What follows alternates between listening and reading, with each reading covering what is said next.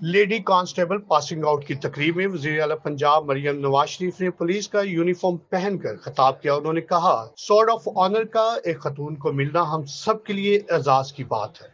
मजलूम की दाद रसी और जालिम को कैफ़े करदार तक पहुंचाना आपकी ज़िम्मेदारी है।